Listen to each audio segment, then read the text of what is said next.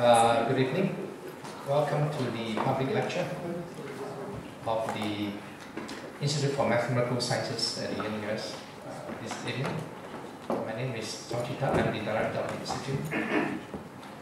It's a great pleasure to uh, introduce the speaker for this evening, Professor Stephen Simpson from Pennsylvania State University.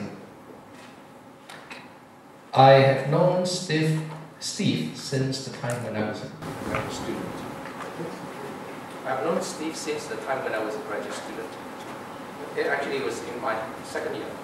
And uh, Steve uh, had just become a postdoc, young postdoc, uh, a PhD fresh from MIT.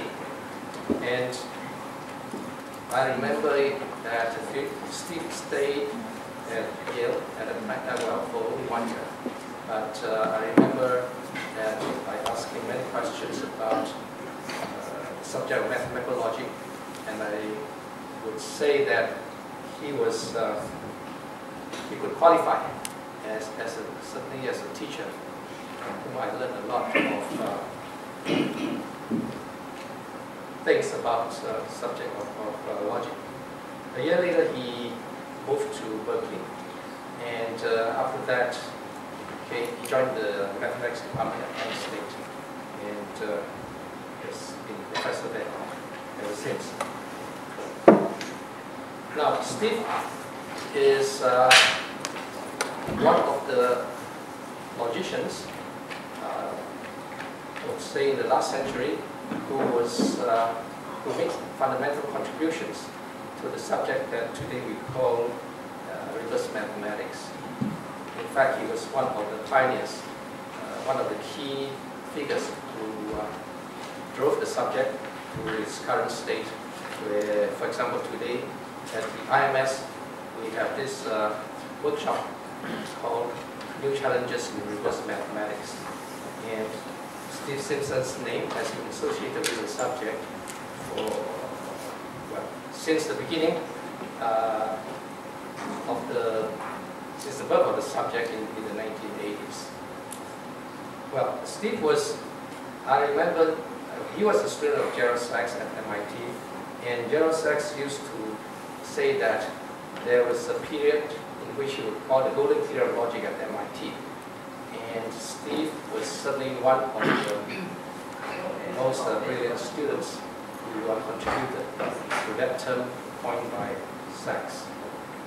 But apart from reverse mathematics, Steve has also made significant contributions to the study of what one calls the global theory of uh, Turing degrees. In fact, he, proved a fundamental result in, that was published in the, in the 1970s that, that characterized, that actually found the complexity, identify the complexity of the theory of Turing degrees, the so-called theory, that sparked the uh, study. Uh, I would say a new chapter in, the study of that uh, topic.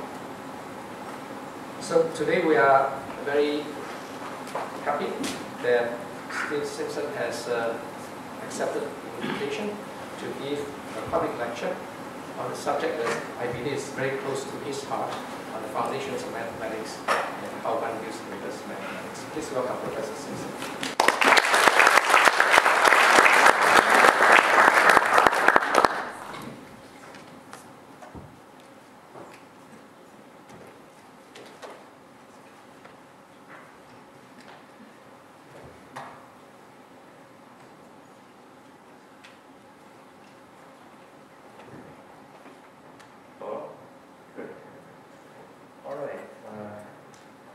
So uh, try not to talk too, talk too loud. Or can we turn the volume down, maybe?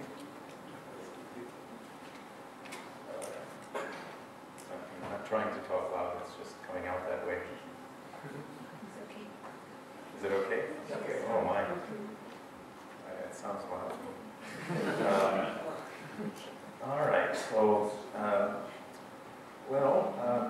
it's a pleasure to be here, and uh, just, uh, I, I uh, visited uh, Singapore and, and NUS and, and, the Institute for Mathematical Sciences here at NUS many times. I, I always enjoy it, and uh, it's a pleasure also to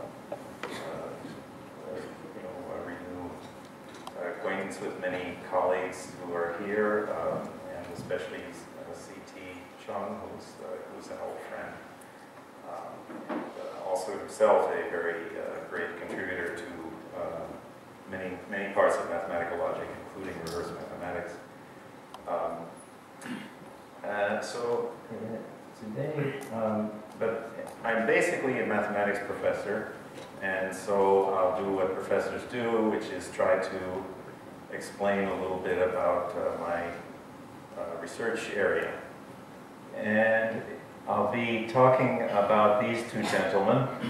Uh, this is uh, David Hilbert, who was the, the great, I'd say the greatest mathematician of the early 20th century. Uh, uh, in, he's European, German, um, and uh, just a very great mathematician in many different branches of mathematics, including foundations of mathematics. And this is uh, another famous figure, Kurt Gödel, who was a, uh, a, a, a probably the greatest logician of the 20th century. Um, uh, I know that uh, Gödel and Turing, the inventor of the digital computer, were uh, identified in Time magazine at the end of the 20th century as two, two of the 20 great thinkers of the 20th century. And those, the, those two were the only two mathematicians in that list. Um, uh, and then I want to talk, uh, I want to, so I'll be talking about the, the ideas of these two men in the early 20th century, and I'll jump back and forth to ancient Greeks, Plato and Aristotle. Uh, so I'll be jumping back and forth between ancient Greece and the early 20th century. Uh, and talk about foundations of mathematics, and then I'll talk about modern things, only at the end. So, um, so my research area, as I said, is mathematical logic and foundations of mathematics. And uh, I have written out my talk here. I don't usually do this, but uh, this is such an occasion that I, I wrote out, I, I, actually wrote out my talk, so, so I'm going to read it. Uh, so throughout history, uh, mathematics and logic have been regarded as uh, not only as indispensable components of all of the other sciences, of course they are, logic and mathematics are essential for all science, but uh, also as role models for science because uh, mathematics is often regarded as the most objective and most logically perfect of all the sciences. There's, there's no, there, there's logical perfection there. And, and, uh, and objectivity. If something is mathematically true, it's true, that's it, right? That's at least the standard, the conventional wisdom. And uh, this has been the case for many, many centuries, that people viewed mathematics in this way. Uh, so scientists throughout history, therefore, have thought it that it is particularly important to understand the logical structure of mathematics. What is the logical structure of mathematics? And that's what uh, this research area is. Foundations of Mathematics is basically, it's the study of the most basic concepts in mathematics and the logical structure of mathematics and you try to clarify the, the most basic concepts. Uh, at some point you have to stop because you, you, you, if you want to clarify a concept, you have to clarify it in terms of more basic concepts, and eventually this process has to stop with the most basic concepts. So that's what Foundations of Mathematics is about. Trying to understand the logical structure and basic concepts of mathematics. And um, now, mathematics is an ancient science uh, which has evolved and continues to evolve over time. And so there's a long history here going back uh, uh, thousands of years. And uh, throughout history, there have been a number of what are, what are called foundational crises. That is, times when there was a crisis in mathematics and the foundations of mathematics, when times when there was profound doubt about the logical basis of mathematics.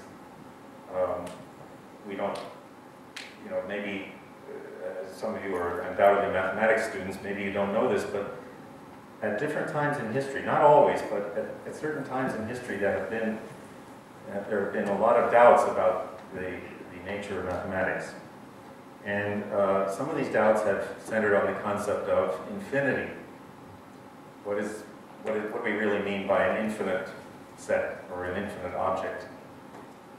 Do, does it make, does anything, is, is, there anything that's objectively infinite from an objective point of view?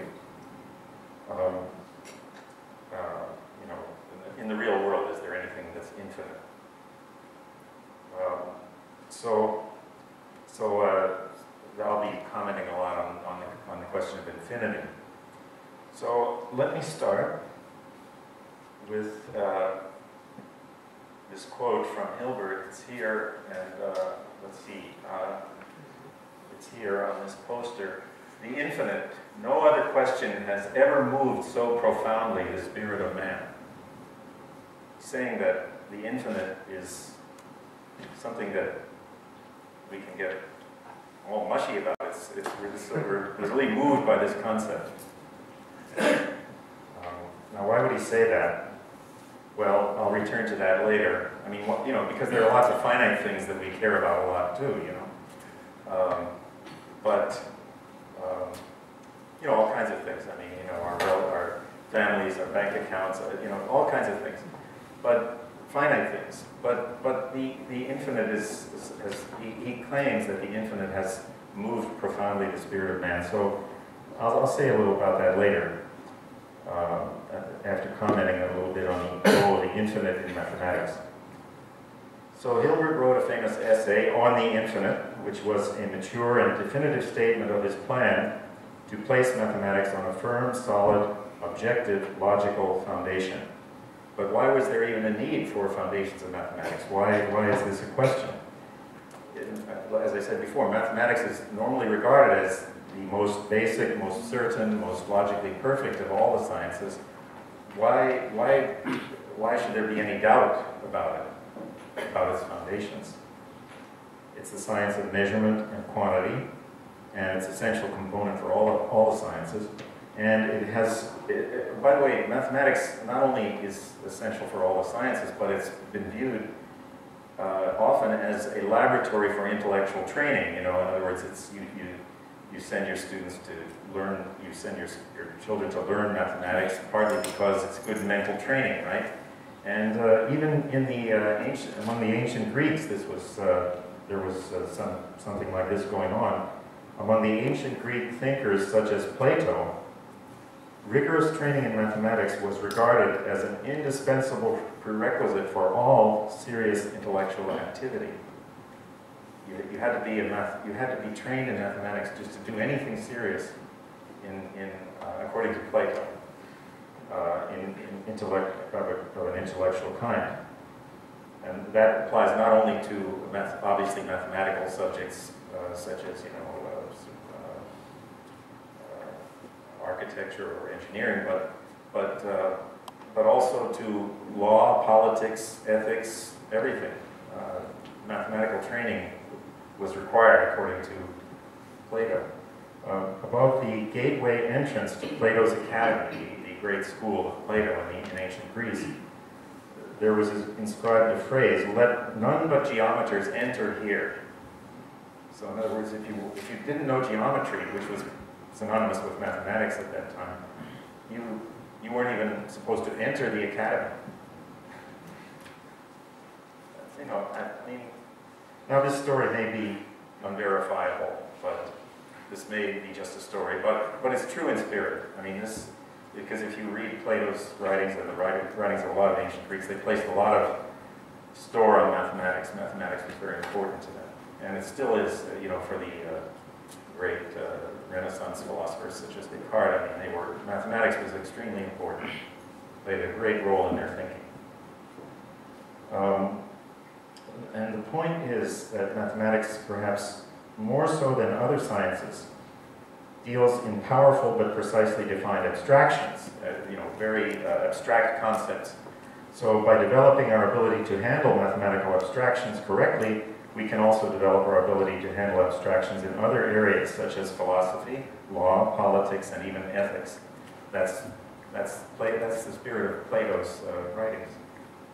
Uh, you know, mathematics is training and handling abstractions or the ideal element, the ideal things that Plato wanted to talk about. Um, so, uh, in an era when, so again, uh, why did Hilbert, in, so going back to the 20th century, this was an era when, this was a time when mathematics was flourishing. It was, it was just growing in all directions. Late 19th, early 20th century was a great period in mathematics.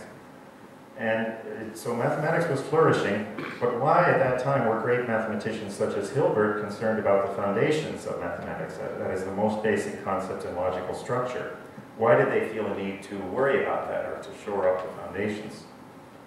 And the answer is, even as mathematics was flowering, some of the newer and more abstract mathematical concepts uh, became a little bit hard to accept. They, they became hard to swallow. Uh, I mean, you know, uh, I'll, I'll, talk, talk about, they, just made people uneasy. And uh, I'll talk more about that later. But there was a real concern that mathematics was moving into some kind of a twilight zone. So, um, and you know, there were big controversies in the foundations of mathematics at the time. Lots of, lots of things were going on then. Uh, this kind of unease had a precedent. Now let me jump back to ancient Greece. This kind of unease had a precedent in ancient Greece. Um, so this is more than 2,500 years ago. The philosophical school of Pythagoras was obsessed with pure numbers. Let's see if I can. Uh, so this is a picture of, uh, this is what it was like in ancient Greece. well, maybe not everywhere, but this is, this is, um, uh, this is a, uh, let me see if I can, no, I don't want to fool around with the computer, but I, I could enlarge that picture. This picture, the, the life-size picture of this is, is uh, the, the actual fresco. Uh, so it's called the School of Athens. Uh, it's by the great uh, Italian Renaissance artist Raffaello or Raphael. Um, and um, it's a fresco that is in the Vatican. It's, uh, I looked it up, it's, it's uh, 500 centimeters high and 770 centimeters wide. It's big. And uh, he, he has this panorama of all the great uh, thinkers in ancient Greece, the great philosophers and, and, and mathematicians. Uh, this one here is uh, reputed to be Pythagoras, and many of the others, you, it's, it's, just guesswork at who they really are. but the two in the middle I want to comment on, that's Plato and Aristotle for sure. Uh, and uh, we'll comment on that. But anyway, Pythagoras uh, started a school of mathematics and a school of philosophy, and they were obsessed with pure numbers. Philosophy and mathematics went hand in hand. And um, so consider, for example, uh, they, they, they, thought a lot about pure numbers. And uh, let's see. So consider a square, just a, a diagram there, a square. That's, that's, supposed to be a perfect square. There's four sides marked, uh, marked S, and there's a diagonal marked D. And uh, there's a number called by, called by this symbol, it's, the, it's called, it, you read it as the square root of 2. Um, so that number is the ratio of d divided by s. So in other words, d, you can see that it's a little bit bigger than s, but it's smaller than 2 times s. So, it's some, so the ratio would be somewhere between 1 and 2. And uh, that it's, but it's an actual number. It's, it's not a whole number, of course. It's a, it's a it's a it's uh, number somewhere between 1 and 2. And uh, then you talk about approximating this number. What is this number? Can we, can we give an exact explanation of what this number is? Well, the, the most common way of representing numbers is as fractions of whole numbers. You divide, take a whole number divided by another whole. That's the most uh, it, other than whole numbers themselves, those are the most common uh, way of representing a number as a fraction. And uh, so the square root of 2 is um, actually, this, this happens to be a very good approximation. 99 divided by 70 is, is a pretty good approximation to some maybe four decimal places of, of the square root of 2. And uh, 99 divided by 70, and this number 665,857 divided by 470,832. That's an even better approximation. Okay, but they, what, what the Pythagoreans discovered was that there is no way to express the square root of 2 exactly in that form, as one whole number divided by another whole number. There's no way to, there, the square root of 2 cannot be expressed in this, in, in this manner. Uh, so, so this was, uh, uh, I go back to my text here. There's no way to express it exactly as a ratio of uh, whole numbers. Uh, so it is the first example of what is now called an irrational number. Imagine that, an irrational number. Mathematics is supposed to be the most rational of sciences. Uh, the, word, the, word irrational is just a pun. I mean, irrational just means it's not a ratio. It's not a ratio of whole numbers.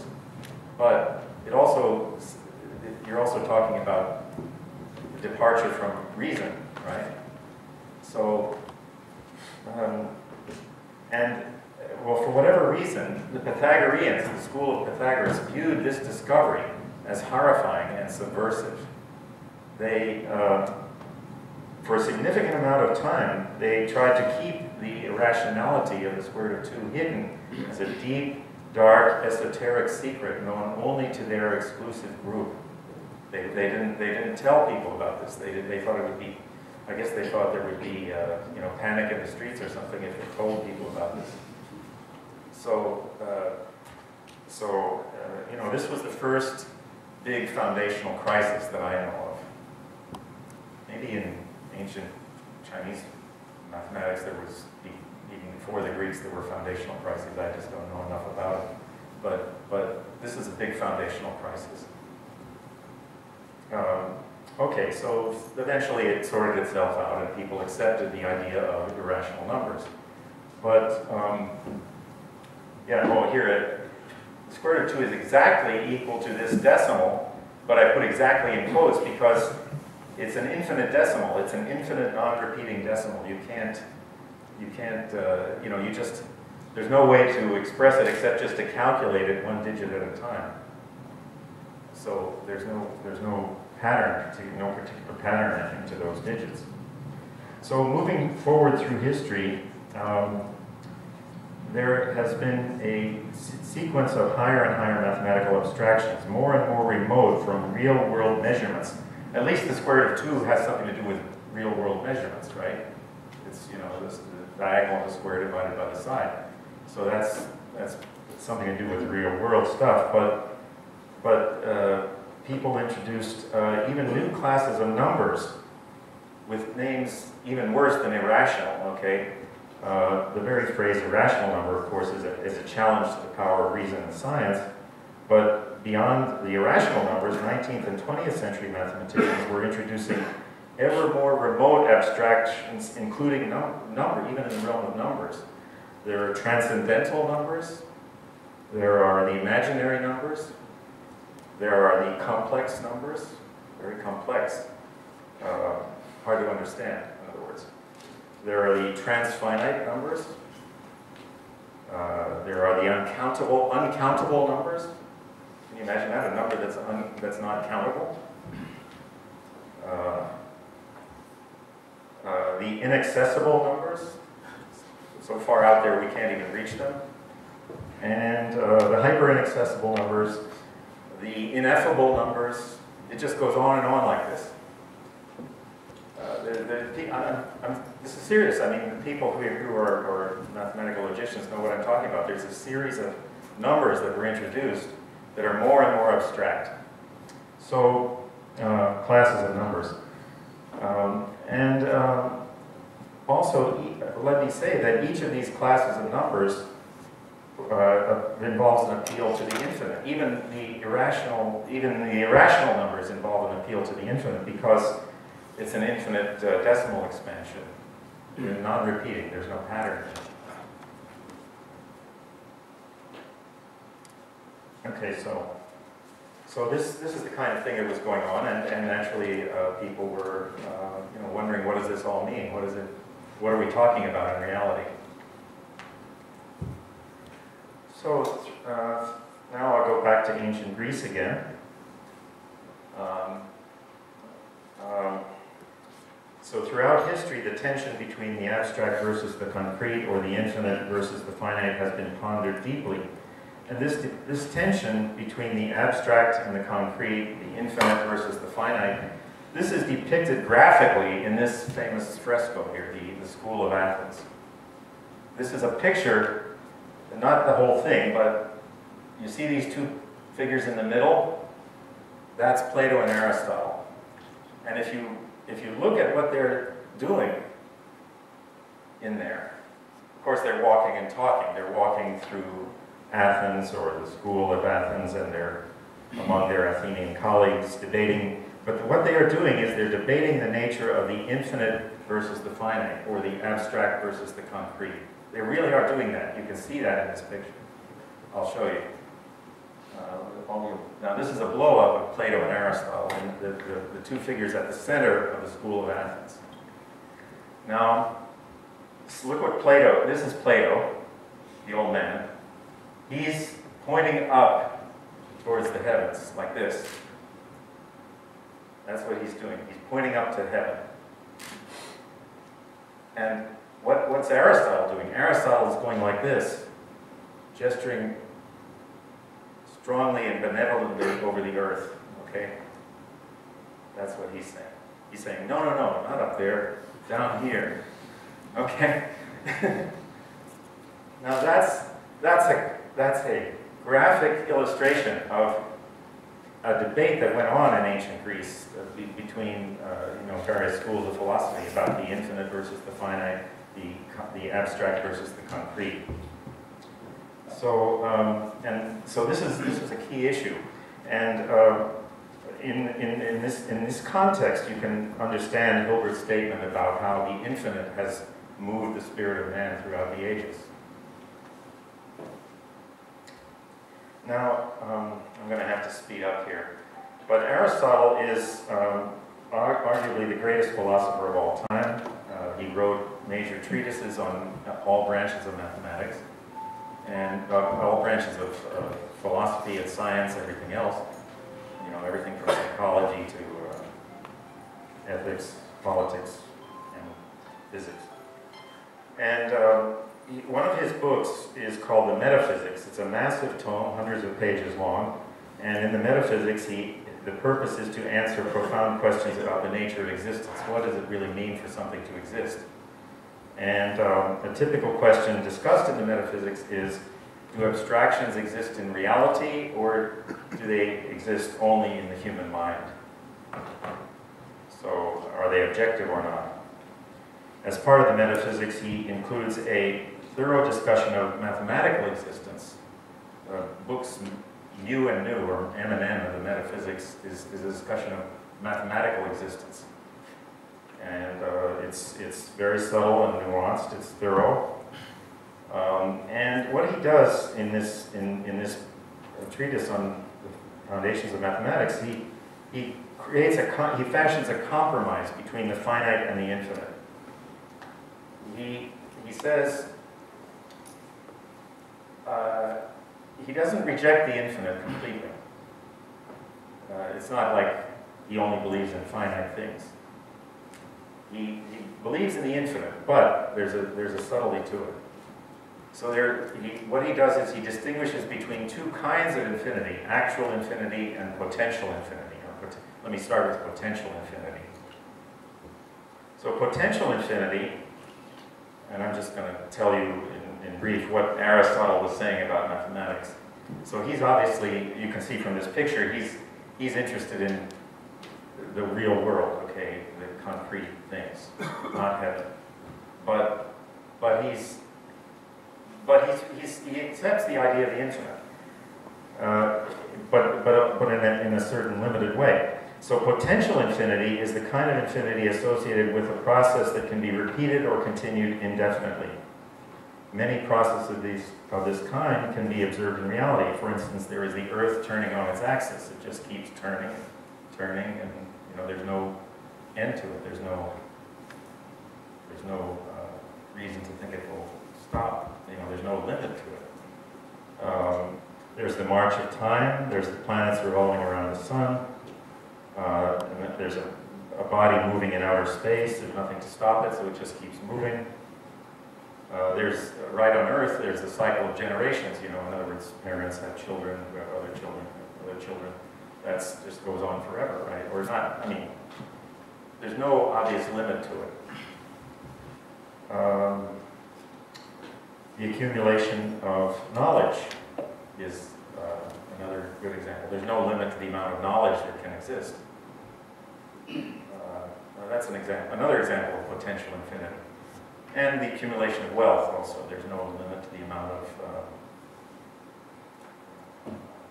wealth that can be accumulated.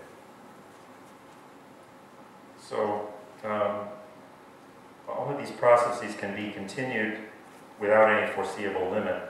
And there are many examples of potential infinity in mathematics, of course. The most important example is the sequence of whole numbers. If I start counting 1, 2, 3, 4, 5, 6, 7, dot, dot, dot, dot, the dots indicate we're just going on to potential infinity. And uh, another example is a potentially infinite sequence of smaller and smaller numbers, like 0 0.1, 0 0.01, 0.001, smaller and smaller. Uh, another example is the potentially infinite sequence of decimal approximations to the square root of 2. The process of computing more and more decimal digits of the square root of 2 can be continued indefinitely. And all of these potential infinities in mathematics and elsewhere play an important role of our understanding, in our understanding of the real world. You know, there's no better way to explain what's going on than to say it's potentially infinite in, in some of these things. Now, actual infinity, there, so there are two kinds of infinity, potential infinity and actual infinity. I'm just telling you what Aristotle said. But actual infinity is another kind of infinity, standing in contrast to potential infinity. An actual infinity is a completed infinite totality. Infinitely many things or infinitely much stuff has been gathered together in a, in a basket. That's what, that's what actual infinity is.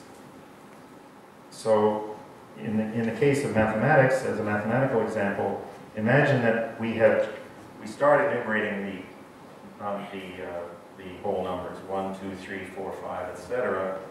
And then, and we keep going until we finish. We actually finish doing, finish that enumeration.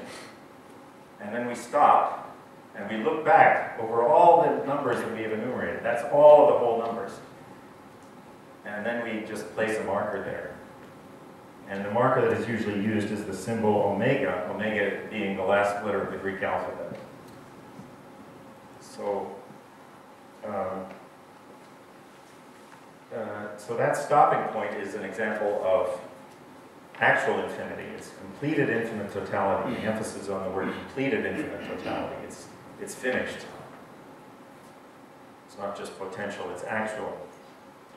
Uh, all right, so the, the, philosophical question at issue here is what kinds of infinity have an objective existence?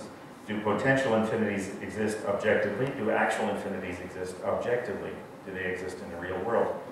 And Aristotle comes down on the side of a rather compelling philosophical position. Aristotle's position is uh, that potential infinities are part of the objective existence, but actual infinities are not. That's, that's what he says. So, and it makes a lot of sense, this idea, because in, uh, you know, there are many obvious examples in observable reality of, of potential infinities, as I mentioned a few. But there are no convincing examples of actual infinity in observable reality. And of course, Aristotle is interested in observable reality. So, um, so and uh, throughout history, uh, so this position, uh, I'm going to call it finitism, Aristotelian finitism. Uh, it's, it's not a rejection of infinity completely. It's not a rejection of infinity. It's, it's not saying infinite things don't exist. It's saying infinite things exist, but they're only potentially infinite. Potentially infinite things exist, but, but there's other kind of infinite things, uh, completed things don't exist. Uh, that's what he's saying. And so we'll call this finitism, but that's really not a perfect name for it. Um, so over the centuries, many thinkers have agreed with Aristotle's finitism, simply because there are many obvious examples in observable reality um, of potential infinity, but none of actual infinity. On the other hand, there have been some non-finitistic thinkers who disagreed with Aristotle, and they have, uh, some of them have endorsed a great variety of actual infinities typically on the grounds that these actual infinities exist as an important component of theological thought, philosophical thought, or mathematical thought. Uh, now, I guess the Aristotelian answer to that would be, well, if things exist in thought, that's not the same as really existing, right? I mean, you can think something, and that doesn't mean it exists. But uh, who knows? Anyway, that's the, that's the debate that's going on.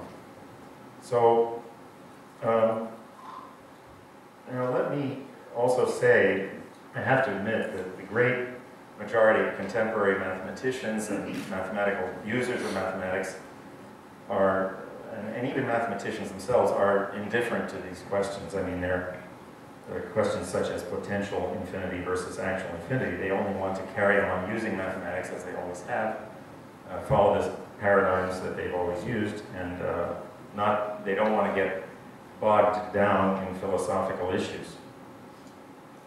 Uh, okay, so that's ancient Greece. Let me, let me stress that, again, that finite, Aristotle's finitism does not reject all infinities. He fully, Aristotle fully accepts Aristotelian finitism, fully accepts the concept of potential infinity, while at the same time rejecting the concept of actual infinity. Okay. Now let's fast forward to the late 19th and early 20th centuries. We'll go back to the modern times. Let's see what we've got. Um, this is Gödel and uh, Hilbert and Gödel again. Um, so, uh, so the, the, during this, especially the late 19th and early late, late 19th century, mathematics was just expanding in all directions. Differential equations, geometry, number theory, algebra, all of these subjects were just exploding and, and becoming uh, rich, very rich with uh, lots of new ideas. And as part of this tremendous flowering of mathematics, great strides were being made in the direction of mathematical rigor and logical precision. The work of Cauchy, Weierstrass, Dedekind, Peano, Frege, Cantor, Russell, Whitehead, and Zermelo uh, cleared the way toward a perfect logical framework for all of mathematics. So that's, that was something that uh, developed out of this, uh, this, at this period. A landmark there was a, was a treatise of uh, Hilbert, uh, David Hilbert, this great mathematician, the greatest mathematician of the 20th century, uh, the early 20th century, I would say, and his assistant Ackermann, Wilhelm Ackermann, and they presented an elegant and completely symbolic formulation of the logical axioms and rules for what is now known as the predicate calculus. And so you have to understand the significance of this. Digital computers didn't exist at that time, but it was in some sense clear because of this work of Hilbert and Ackermann and their predecessors that all of mathematics could be fully formalized, which means that it can be thrown onto a digital computer. You can, you can, you can formalize it completely so that a computer can handle it. In other words, you can, you can convert it into symbols that can be manipulated by a computer, and the computer can, in various senses, uh, do mathematics or help you with mathematics. That, that, that, uh, is, that is really only being realized now, but that vision, but, but that, that, this was the onset of that. So mathematics can be formalized. Uh, later in the 20th century, levels of mathematical abstraction continued to increase with a great variety of actual infinities, as I mentioned, and consequently, due in part to the non-objective nature of these actual infinities, there were nagging and sometimes massive doubts about the validity of mathematics. This is the foundational crisis I was talking about. Uh, the philosopher Russell famously characterized mathematics as, quote, the science in which we never know what we are talking about, nor whether what we say is true. So he's saying, in mathematics, we don't know what we're talking about. And we don't know, we have no idea whether what we're saying is true. And uh, then there's the mathematical physicist Eugene Wigner, I guess, who declared that there is no rational explanation for the usefulness of mathematics in the physical science, sciences. He, he himself was a mathematical physicist. He believed that mathematics was useful in the physical sciences. He didn't doubt that, but he said there's no rational explanation for it. There's no reason to believe it should be, it just is. We we don't know why. I mean, think of that. Uh, can you imagine somebody saying that? And then uh, there's another mathematician, Morris Kline, published an influential popular book entitled, quote, Mathematics, the Loss of Certainty. So mathematics is no longer certain, according to Klein. Now, none of these, these scientists were viewed as enemies of mathematics. They were viewed as merely raising legitimate doubts about the validity of mathematics. So so this was a, there was a foundational crisis going on. And I, I want to talk about a key step in this, uh, the, the ideas of Hilbert and Gödel. Um, so, uh, so, so let's talk about this question of finitism versus uh, finitistic methods versus infinitistic methods. Finitistic methods uh, do not, uh, I, I mean it in the sense of Aristotle. In other words, potential infinities are okay. You can use potential infinities because, because uh, at any stage in its evolution, it's finite. Uh, okay, but, but you can't, uh, but, uh, but the doubtful part is the actual infinities. So Hilbert himself had already, in, early in his career, made dramatic use of non-finitistic methods.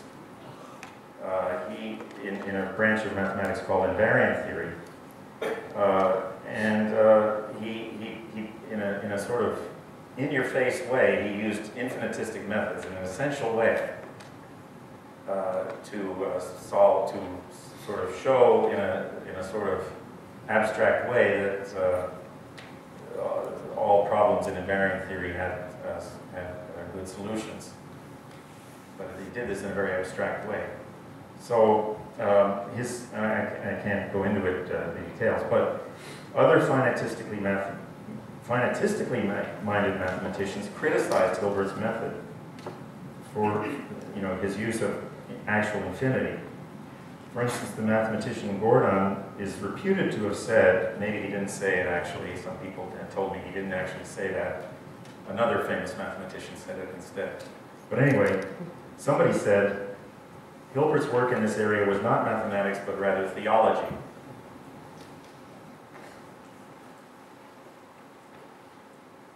Um, and uh, later, uh, so Hilbert did this work when he was a young mathematician, but later at the peak of his career, when he was the top mathematician in the world, he argued forcefully for the acceptance of actual infinities.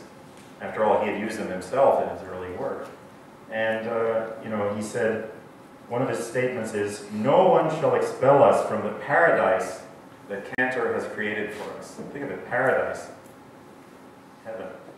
And, and that Cantor has created. Now this paradise that he was talking about is a paradise that's full of, chock full of actual infinities. There's actual infinities running around all over the place. That's the, that's the paradise that he was talking about. No one shall expel us from this paradise.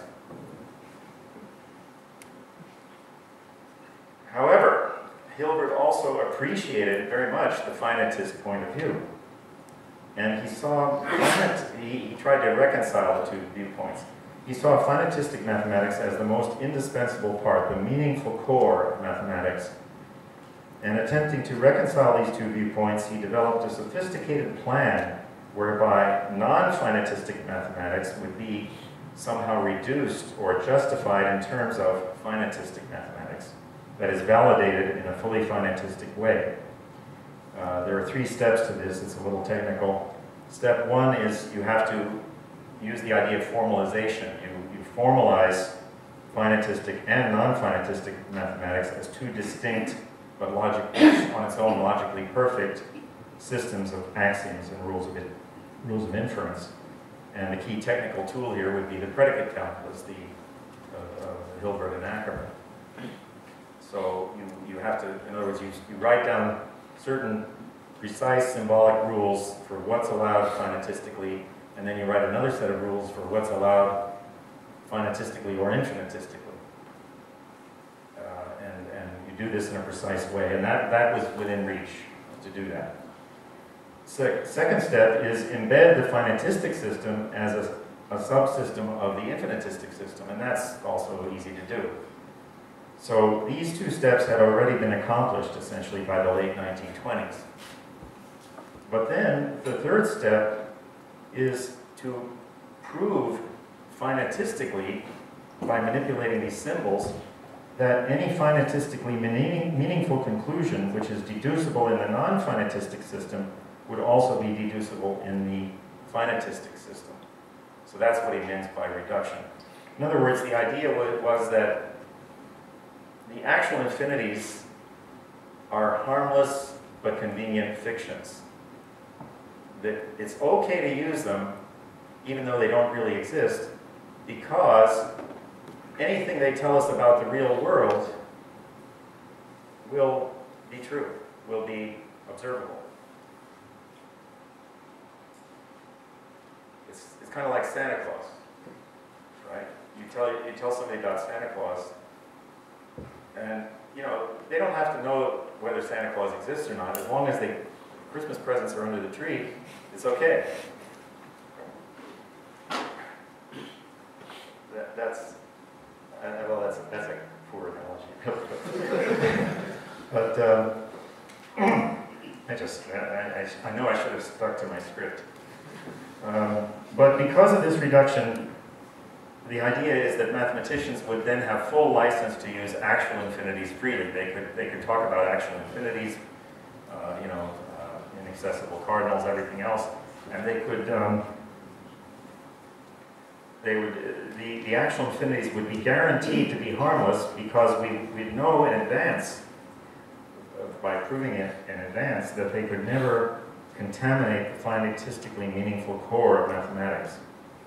They could never tell us anything that wasn't already finitistically justified. That's, that's, that's finitistically meaningful. So, in short, get a drink of water. So, in short, when it comes to the question of potential infinity versus actual infinity in mathematics, Hilbert was riding to the rescue he was proposing a bold, sophisticated, far-reaching plan to compromise between finitism and non-finitism.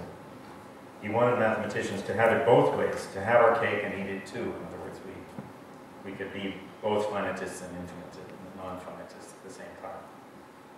Uh, and this proposal is known as Hilbert's program, or in a more technical vein, finitistic reductionism.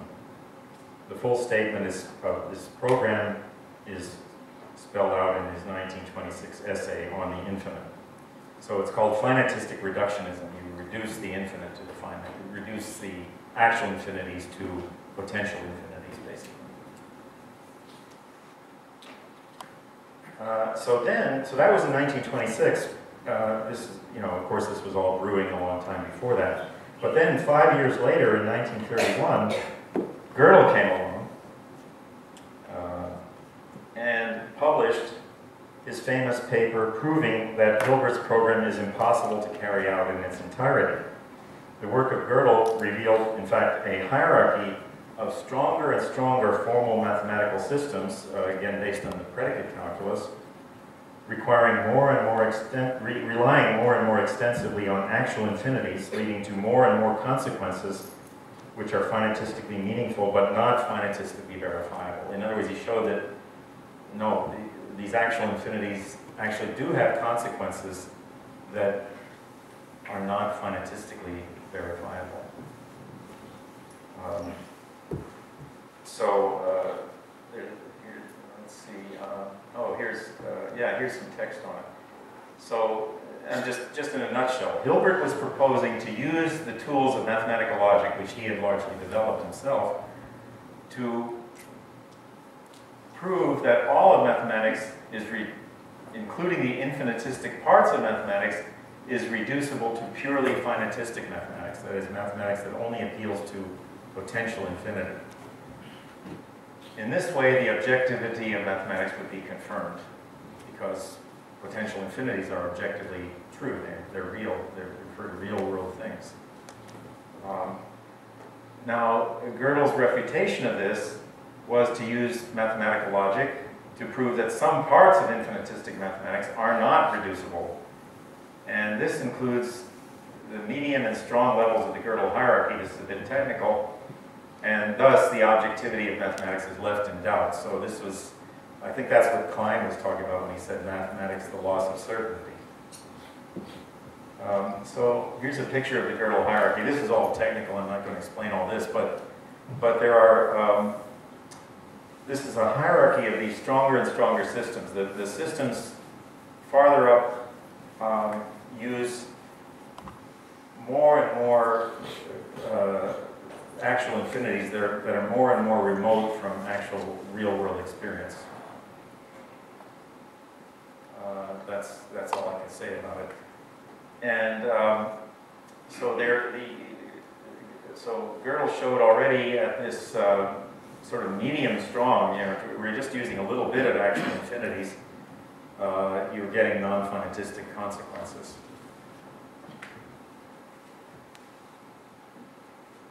So, um, so this discovery by Gödel was viewed as a complete and total defeat for mathematical finitism. The mathematical world seemed to be left with only two options. The two options were, we could either cling to objectivity by rejecting all non-finitistic methods, or we could abandon objectivity by embracing the panorama of actual infinities. So we just, just accept all the actual infinities, just work with them, and not worry about it. Don't worry. Be happy. So, so, um, and, and mathematicians were by that time quite comfortable with actual infinities. And so they almost universally chose the second option. We'll, we'll, we'll just use the actual infinities freely. That's their, that's how they reacted to this. So, so Hilbert's program was dead, according to this theory. So, so finitism finitistic reducibility and objectivity in mathematics were now apparently out the window. Even today, despite modern advances, the popular wisdom or quote-unquote settled science is that Gödel's theorems mean the end of Hilbert's program and the end of objectivity in mathematics. So that's this is a this is a big big time foundational crisis here. Now, um, in this title of this lecture, I promised, so, all right, so that's where we stand. Now, I promised an optimistic message, so let me report on some results of modern research dating from the 1970s to the present.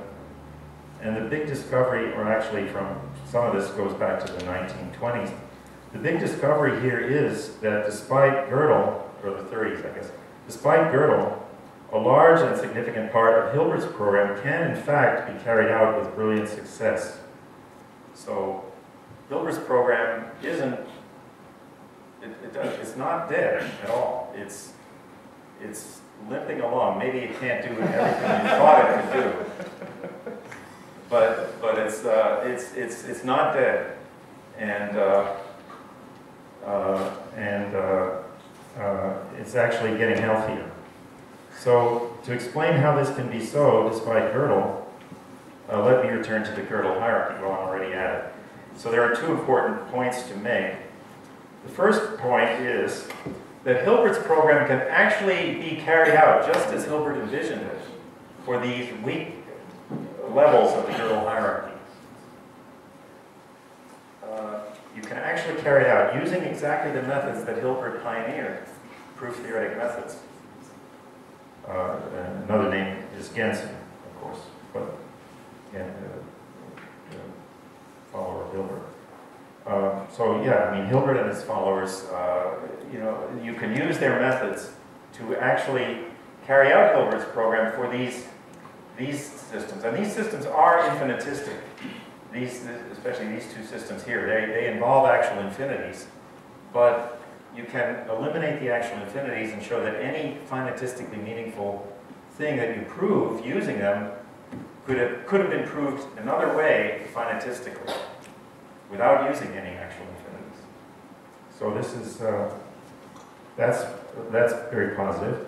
And the second point is that this, this part of mathematics down here, these weak systems, is actually where a lot of the action is in mathematics. A lot of mathematics can be done within these weak systems, these so-called weak systems. It's actually very strong systems that can do a lot of mathematics. Um, so uh, this is where reverse mathematics comes in. I guess I've, uh, Professor Chong has already given you a little introduction to it. Um, so beginning in the 1970s and continuing through the present, mathematical logicians have carried out a series of foundational case studies known as reverse mathematics. The goal is to determine which levels of the Gödel hierarchy are essential for the formalization of which parts of mathematics, as you take a piece of mathematics and try to place it in this hierarchy. And this is a huge and ongoing research program. Um, it's, as Professor Chong said, it's the subject of a workshop here at uh, NUS in the Institute for Mathematical Sciences this week and next. Um, but it's, it's a, you know, a wide, a, a big research program worldwide. And as an outcome of re reverse mathematics, we now know that the bulk of mathematics, uh, including a great deal of non-finitistic mathematics, can in fact be formalized at these weak levels. Uh, and there's great advances right at this conference announced uh, and, and, and, verified um, in, this, in this direction. Um, this is an ongoing project, but I estimate that it applies to something like 85 to 95% of mathematics as it exists today. Of course, there's no way to assign a percentage to this, but that's just how, that's just based on a lot of experience with this.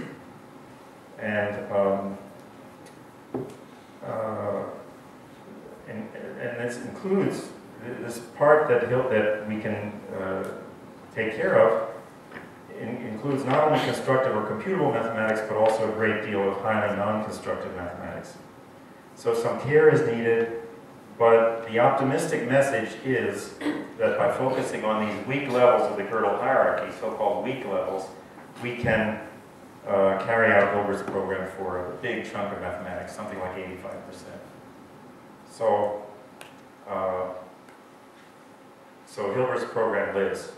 So what I'm suggesting is, to summarize the summary, even though Hilbert's program cannot be carried out in its entirety because of Gödel, uh, because of Gödel's discoveries, there is a less sweeping version which can be carried out and which represents the proper balance between the finite and the infinite in mathematics. So it's a question of finding the right balance.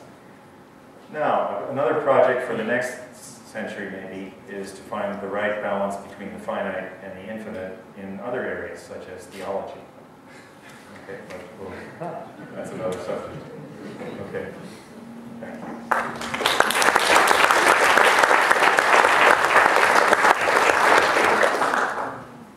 Well, uh, I believe Professor Simpson will be very happy to answer any questions. So uh, I have a question. Uh, so uh, Andrew Wiles too, uh, the, you know, the uh, Fermat theorem, and what does it, uh, you know, fit in terms of sort of Uh, Uh, Yeah, well, you see, to really find that out, you have to master the proof of the, of the- of a theorem, like Fermat- the proof of Fermat's theorem. Um, It's, it- it's, uh, I, I believe the best guess at this point, because it hasn't been, nobody's really carried out the logical, see, often the logical analysis of, of the proof of a theorem is, is, is ten times longer than the proof itself. So, uh, it hasn't been carried out entirely. Uh, oh, Of course, the program of form, actually putting mathematics onto digital computers can help. But uh, the best educated guess, I think, is that it falls at these very low levels here, elementary function arithmetic. That's, that's just uh, not, not been checked, but that's, you know, uh, it, it, it's, it's not an exception to, to this, to what I'm saying.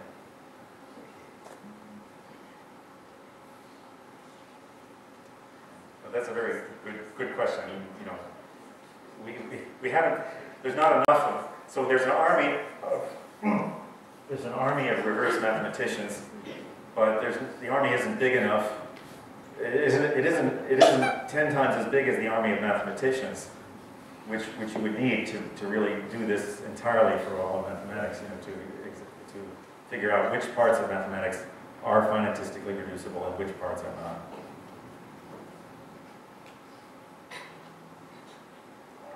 But, but this is just based on experience over the last, you know,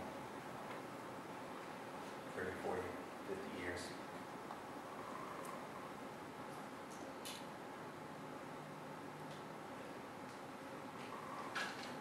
Yes? Um, Thank you very much. Uh, Learned a lot from the history. It's all fascinating. Um, You seem to suggest that uh, in the modern view, what Wigner said about the unreasonable usefulness of mathematics is sort of out of date. Say something more about the modern view.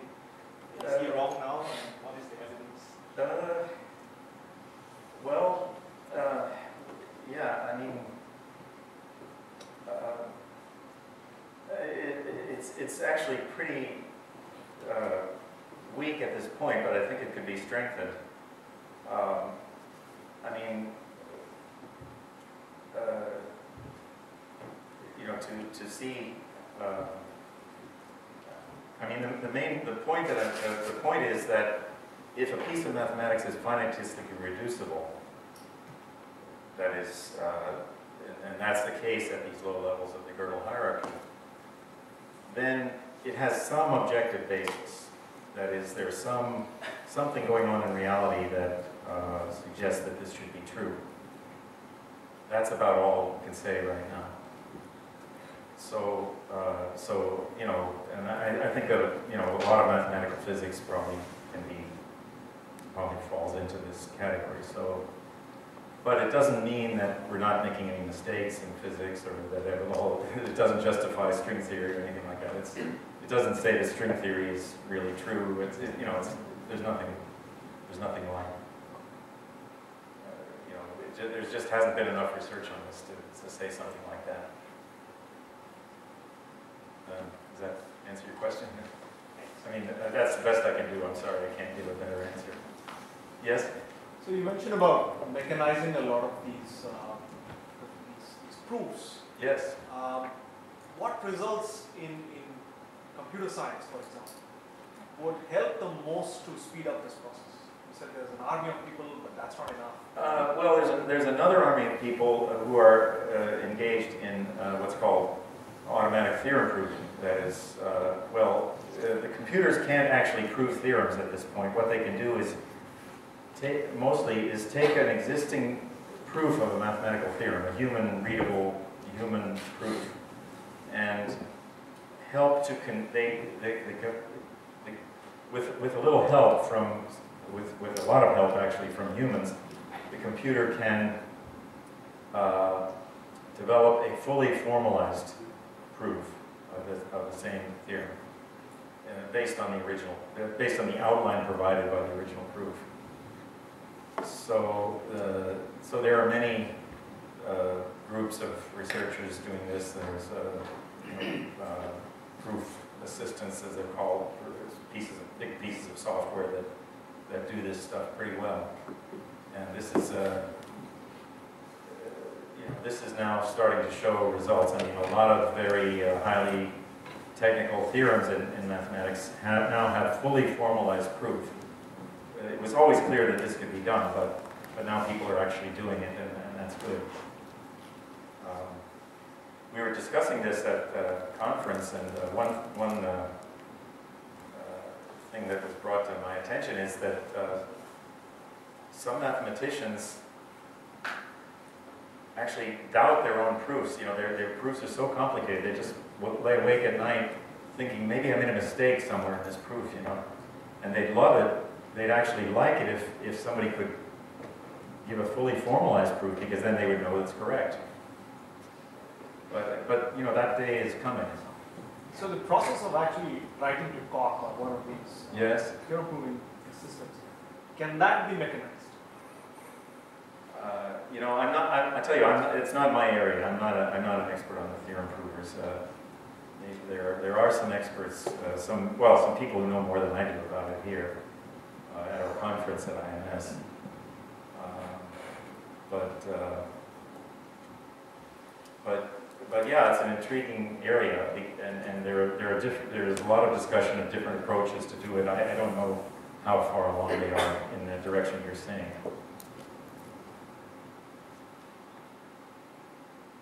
Yes? Hi, uh, can I, can you give us a sample of the types of theorems or results that are not uh, finitistically reducible? Uh, yes, uh, Fifteen percent that we let's see, um, well, uh, let's see, oh gosh, uh, there's, there's, there, there's not, uh, like I said, it- the, uh, so, so, I mean, there are, there are examples, many examples have been worked out. Um, Let's see, uh, one example, hmm. Um, I would say, um, well, here's an example from graph theory. Um, There's a theorem called the Koenig duality theorem, which says that if you have a finite bipartite graph, then there's a, uh, a uh, vertex, let's see, there's a, there's a, there's, let's say, there's a, there's a vertex coloring, no, the vertex, okay. There's a, there, yeah, there's a, there's a matching and a vertex, uh, a set of vertices that includes exactly one edge of each, uh, vertex covering, meaning, meaning a set of vertices that, that uh, includes at least one endpoint of each edge. And there's, there, the, the, the, uh, the vertex covering is included in the edges of this matching. So it's, it's, a, it's a basic theorem in graph theory. It's sort of a minimax theorem in graph theory. And this holds for finite graphs, and that's no problem doing it at the lowest levels. But uh, it also holds for um, infinite graphs. And that, that's, a, that's an example of the theorem, of a theorem that cannot be proved finitistically in, in finitistically acceptable way. Um, I don't know. Um, how about, uh, oh, yeah, there, there are lots of examples. Um, uh, how about uh, the theorem that any closed set in, uh, in the, uh, in Lie space consists of a perfect set, that's a set which is, uh, every point is a limit point, and a countable set. Every, every, every closed set consists of a perfect closed set plus, plus a countable set. That's, you know, it's just a theorem about the structure of sets of points in Euclidean space. Um, I think that there, is, there, there, there are, lot- there are examples in every branch, many branches of mathematics.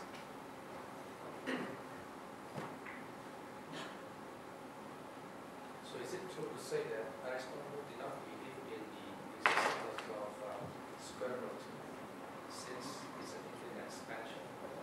No, but, but he allowed it as, a- I, I guess he would have allowed it, I don't know if he discussed the square root too explicitly, but, but it's potential infinity. It's, you can, you can compute it to an arbitrary degree of approximation.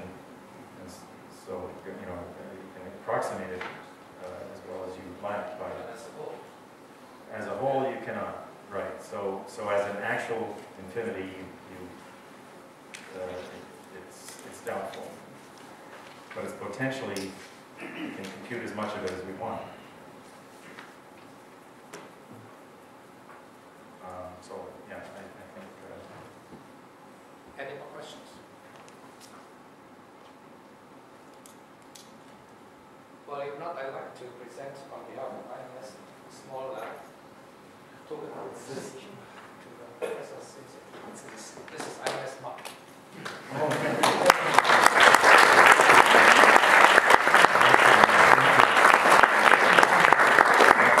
Well, you know, uh, we're not allowed to use these mugs to drink coffee in the auditorium.